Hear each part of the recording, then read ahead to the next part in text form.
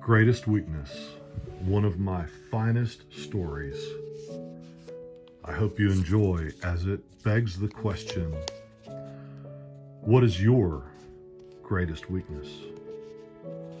A 10 year old boy decided to study judo despite the fact that he had lost his left arm in a devastating car crash.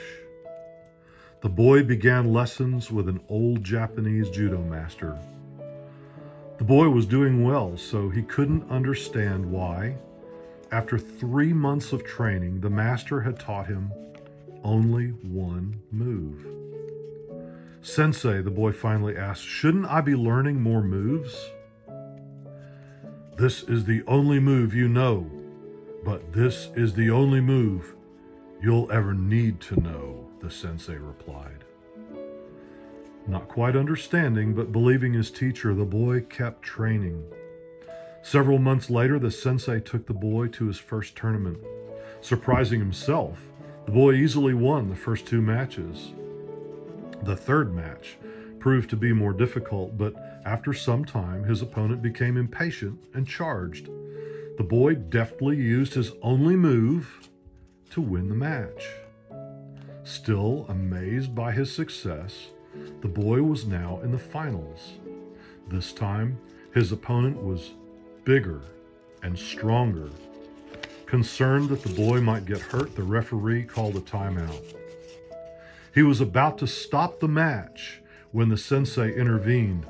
No, the sensei insisted, let him continue. Soon after the match resumed, his opponent made a critical mistake. He dropped his guard. Instantly, the boy used his move to pin him. The boy had won the match and the tournament.